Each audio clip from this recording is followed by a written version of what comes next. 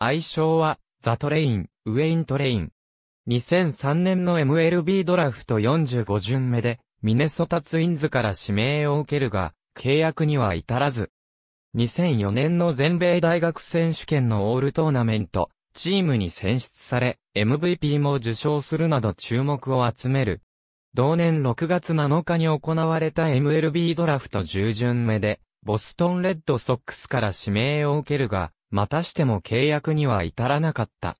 2005年は前年以上の好成績を上げ、全米大学セカンドチームの一塁手に選出されるなど、さらなる成長を遂げる。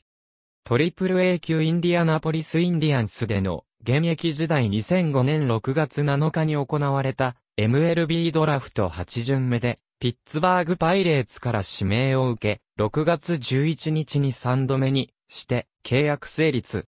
この年からプロデビューし、参加の A- 級、ウィリアムズポートクロスカッターズで72試合、打率301、出塁率381オプス855をマーク。8月23日、ニューヨークペインリーグのオールスターに出場。2006年は A 級、ヒッコリー・クローダッズと A 級リンチバーグ・ヒルキャッツにステップアップ。2球団合計で131試合に出場の上、26本塁打を放ち、98打点を挙げるなど、着実にキャリアを積み重ねる。2007年は A 級リンチバーグ、AA 級アルトゥーナカーブ、トリプル A 級インディアナポリスインディアンスの3球団、合計で134試合、打率。333.31本塁打、113打点、出塁率。394 OPS 1.01614、盗塁と打棒爆発。7月8日には、オールスターフューチャーズゲームに、11日には、イースタンリーグのオールスターに出場したほか、ベースボールアメリカ誌のマイナーリーグオールスターにも選ばれ、 MiLB.com のオフェンシブプレイヤーオブザイヤーとトップス社のプレイヤーオブザイヤーをダブル受賞している。同年9月1日、メジャー初昇格。即日ミルウォーキーブルワーズ戦において、6番、右翼手として、スタメン起用され、自身の船出をマルチヒットで飾った。23試合の出場に止まったが、打率294、出塁率342と結果を残し、来季に望みをつないだ。また、シーズン終了後チーム内の有望株リストで3位にランクされ、ベストヒッターフォーアベレージとベストパワーヒッター、並びにベストストライクゾーンディシプリンの3部門に挙げられた。オフには、第37回アイブフワールドカップのアメリカ合衆国代表に選出された。2008年3月10日、1年間の契約延長が成立。パイレーツには2011年まで在籍したが、毎年のようにメジャーとマイナーを往復していた。2011年12月15日にツインズとマイナー契約を結ぶ。2012年3月27日に FA となった。3月29日にニューヨークヤンキースとマイナー契約を結んだ。ボルチモアオリオールズでの現役時代2012年6月2日にボルチモアオリオールズへ移籍。7月21日に DFA となった。2012年8月24日2012年7月28日にウェーバー工事を経てヒューストンアストロズへ移籍した。ニューヨークヤンキースでの現役時代2012年8月27日に、ウェーバー工事を経て、再びヤンキースへ移籍した。9月25日に、 DFA となった。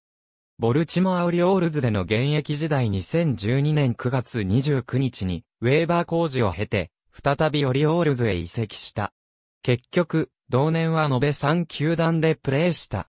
オフの11月30日に、オリオールズと1年契約に合意したが、12月21日に40人枠を外れ、トリプル A 級ノーフォークタイズへ降格した。2013年3月31日に、オリオールズとメジャー契約を結んだ。この年は44試合に出場し、打率261、4本塁打、13打点、1盗塁を記録した。オフの12月2日にオリオールズと1年契約に合意した。2014年は開幕ロースター入りしたが、4月22日に DF となった。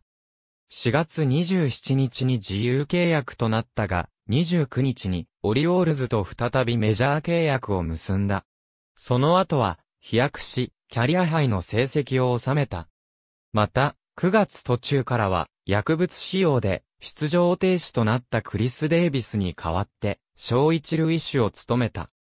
レギュラーの座を手中に収めた後はバットが火を吹き、打率293、21本塁打、49打点、オプス0.930という好成績をマークした。また打撃のみならず、守備でも高い力を発揮。一塁を守った51試合で、リーグの一塁手では、最多となる DRS プラス9、左翼手でも35試合で DRS プラス7という好成績をマークした。2015年は内外野のユーティリティとして起用され、92試合に出場。打率が210台まで大きく落ち込んだものの、2シーズン連続で15本塁打以上を放ち、長打力は健在だった。ディフェンス面では左翼を41試合、一塁を28試合、二塁手を21試合、右翼手を8試合守ったが、右翼以外の3ポジションで、DRS はマイナスに終わり、打撃と同様に不振だった。オフの11月2日に FA となった。2016年1月28日にタンパベイレーズと1年契約を結んだ。レーズでは主に一塁手、二塁手のレギュラー格で60試合に出場。打率309、10本塁打、29打点、オプス0.908と、主砲級の活躍ぶりを見せていた。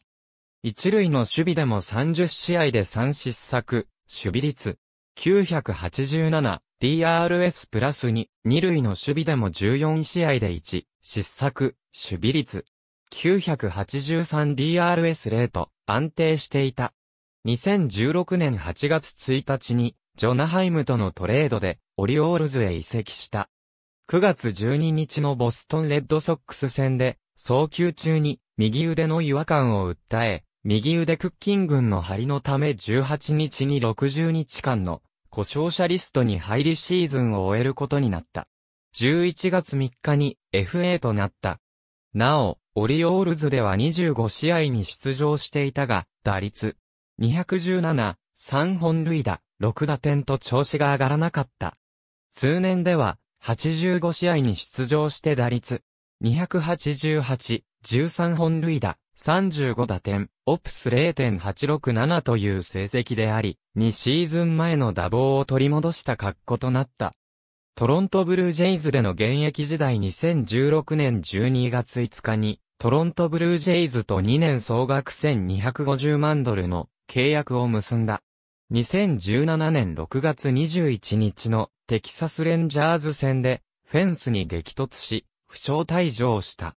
7月30日のロサンゼルスエンゼルス戦でシーズン2本目のサヨナラ満塁本塁打を記録したが、これは、ブルージェイズの球団史でも40年間で、初の快挙だった。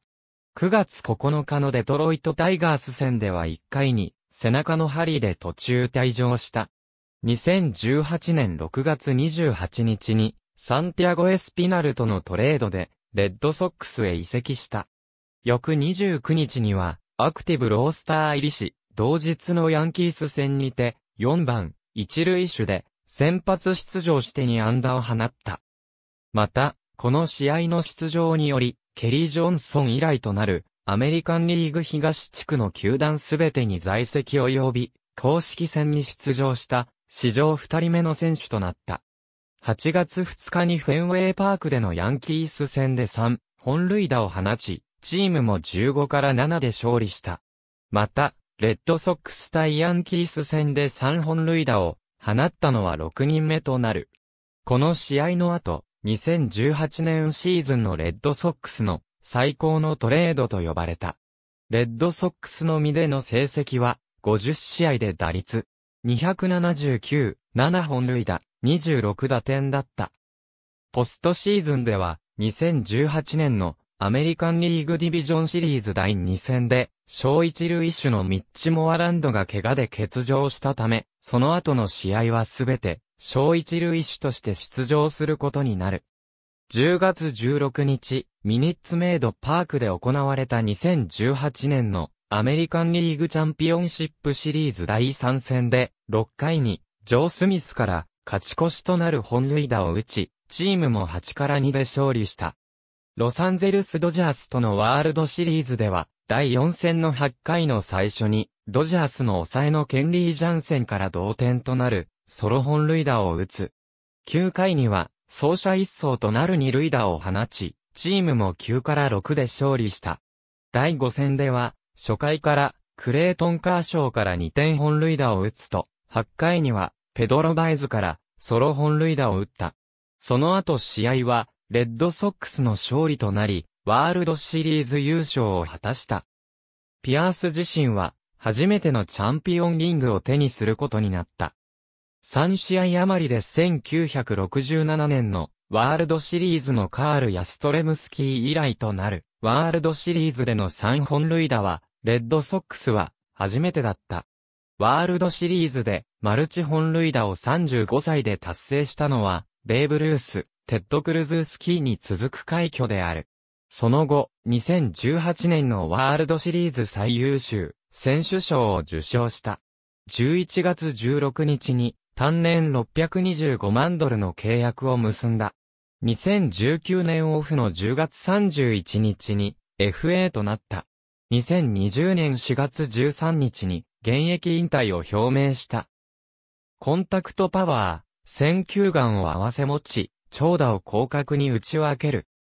パイレーツ時代は、当初もっぱら一塁手を務めていたが、メジャーには、アダム・ラローシュが存在した、チーム事情もあって、昇格してからは、外野も守るようになった。